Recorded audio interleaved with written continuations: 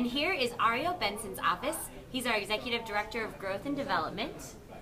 There's some area directors, vice presidents, and Pedro working.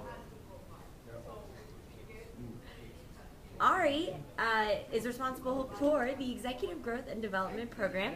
Um, all of our new members and our existing members, as well as our new local and national organizations.